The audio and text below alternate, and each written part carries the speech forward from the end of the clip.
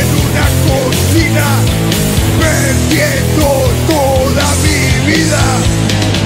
laborando por un salario